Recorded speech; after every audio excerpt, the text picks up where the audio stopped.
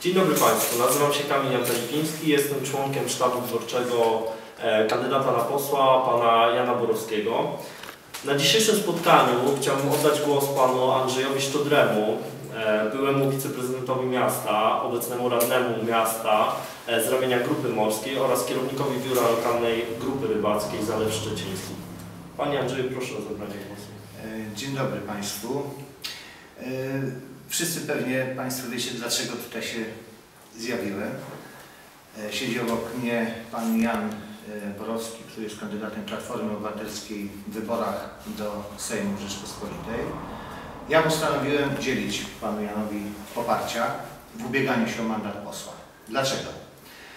E,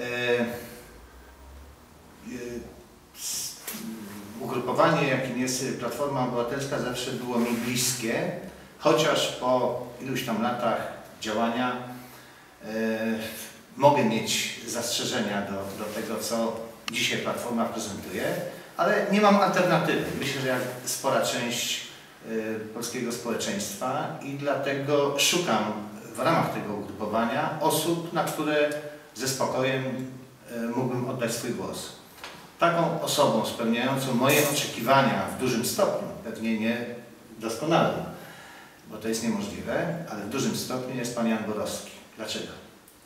Miałem go okazję na okoliczność e, tych wyborów przeegzaminować, przemaglować czy przepytać.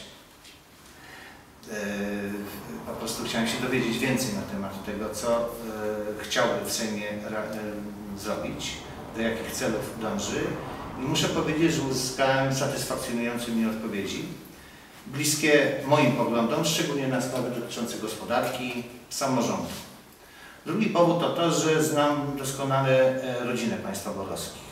Państwo Irena i mm, Marek Borowscy to są moi bliscy znajomi, mogę chyba również powiedzieć przyjaciele. I wiem, e, w jakim domu, w jakim środowisku pan Jan się wychowywał i jakie wartości zostały mu przekazane. Dlatego jestem spokojny o tą jakby drugą e, stronę postaci polityka. Powinien mieć kręgosłup moralny oparty na pewnych wartościach i tego Pana, gdyby Pan został posłem, będę po prostu oczekiwał.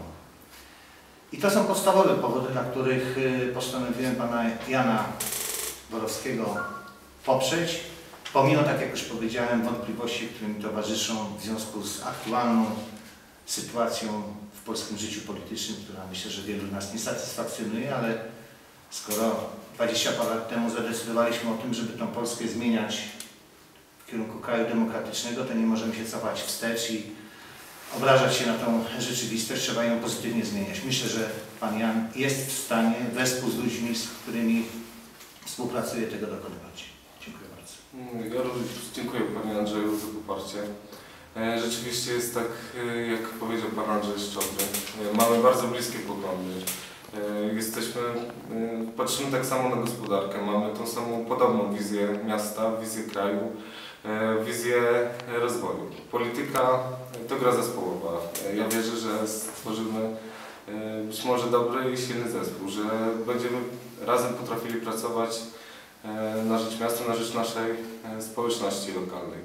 E, To e, ja jestem konserwatystą, tak jak e, Pan Andrzej Szczodry powiedział, w takich wartościach zostałem wychowany. Mam również liberalne spojrzenie na gospodarkę i również nie wszystko mi się w Platformie podoba, ale dalej jest to partia bardzo bliska mojemu sercu, partia, w której można bardzo dużo zrealizować, partia sz- szeroko, z szerokimi poglądami i myślę, że razem e, możemy e, współpracować.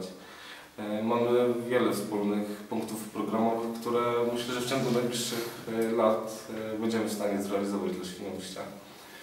E, Pan Andrzej Szczodry to wspaniały człowiek, obserwuję e, jego, jestem politologiem z wykształcenia, więc obserwuję tu na lokalnej scenie politycznej E, i myślę, że ta rekomendacja e, mówi sama za siebie. Dziękuję Panie. Dziękuję.